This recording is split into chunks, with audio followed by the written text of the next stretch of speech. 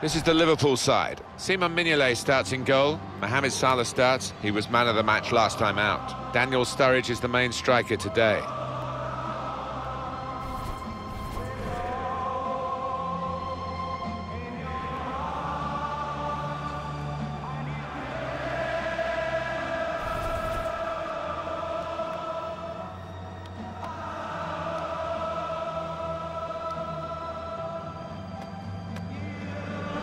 And as for the opposition, this is their starting 11. 4-4-2, but a diamond shape is how he's gone, particularly during matches. It may be that he's going to start with a diamond today. Yeah, but I've seen this manager so often switch formations midstream during the course of a match, and we might see that again today. Fabinho. James Milner. And here they are on the attack. Building steadily here, keeping possession. Salah! It's the start of the scoring, and Liverpool have done it. Well, we had to wait a while, but Liverpool get their noses ahead.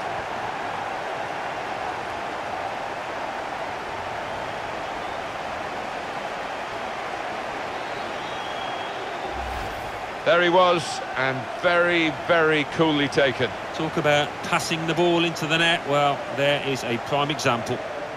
The goal, wherever you look at it, it was very well taken.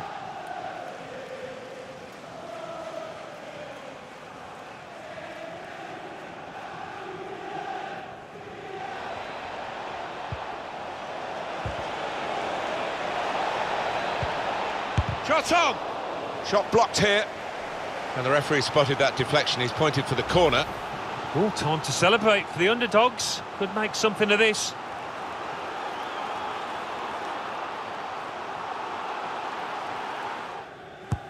In goes the corner.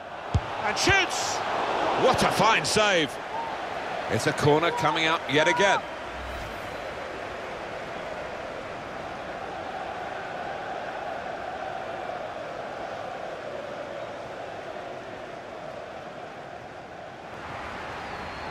Can find some space here on the flanks. Sturridge! And they've got in to score here. No goal. Flag up. Well, that assistant there, he was certain the flag went up straight away. What did you make of it, Alan? Well, I thought he was onside, you know, but uh, he's gone through and tucked it away. But looking at the replay, yes, he had gone a bit early. Unmarked in the middle. Well, that's going to be a chance for him. And it's a shot now. Well, all credit for taking the volley on, but in the end, nowhere near the target. Well, it's a difficult skill, and you get it off a fraction, and that can happen. It goes wide.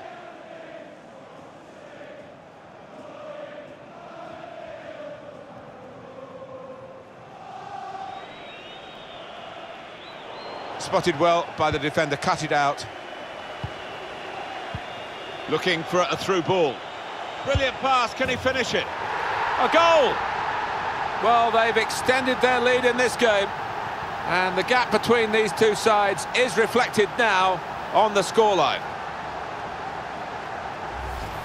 It was almost as if they drew them onto them so that there was space to break into.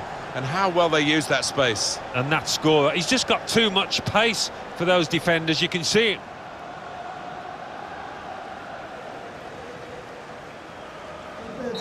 So a reasonably comfortable margin of victory. The final whistle has gone, the game is finished, and the final score is 2-0. A confirmation then of their success in this cup tie today. Well, they sailed close to the wind once or twice, some good saves from the keeper, but I think they just about deserve this win.